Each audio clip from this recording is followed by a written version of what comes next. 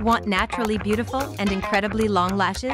Go for Nanolash Lash Lift Kit. With a few simple tools, you can lift your lashes at home. It's so easy. Remove your makeup thoroughly.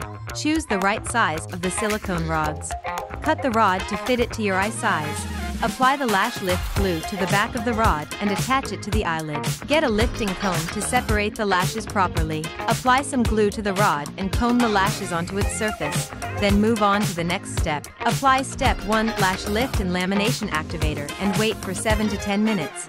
Then remove the product using a dry flock applicator. Apply step 2 lash lift and lamination neutralizer and wait for 7 to 10 minutes. And remove the product the same way. It's time for step 3 keratin booster. Apply it over the lashes and wait, then remove the excess product. Take off the silicone rods gently, brush through the lashes with a spoolie. Now enjoy your voluminous lashes with a perfect curl for up to 8 weeks, thanks to Nanolash Lash Lift Kit.